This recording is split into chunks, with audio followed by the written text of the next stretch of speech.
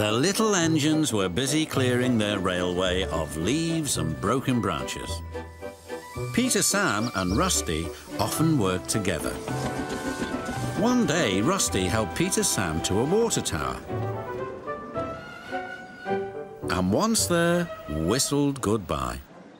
Peter Sam felt much better after his long drink, but the trucks were bored. Let's break away, they giggled. Their loads were heavy and the couplings old. One snapped.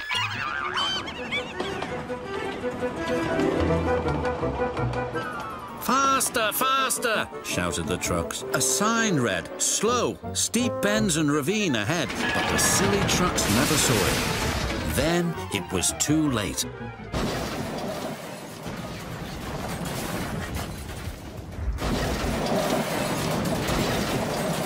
Peter Sam arrived at the scene of the disaster. His driver sighed.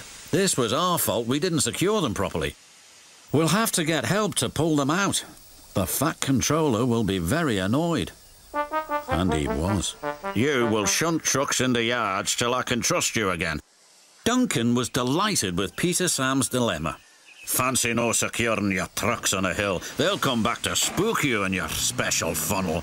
Woo, woo. And who's to say that you're not afraid of ghosts, snapped Rusty.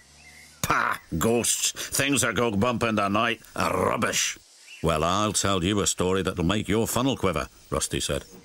A long time ago, a little engine was returning home. It was a misty moonlit night. As the engine crossed the old iron bridge, he suddenly lost control and plunged over the side into the swamps below.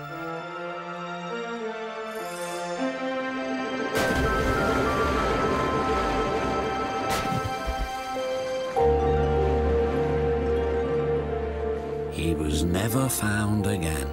But many a workman will tell you that when the moon is full, they have seen the little engine trying to get home, but he never reaches the other side. So what do you think of that, Duncan? Pah, nonsense, replied Duncan.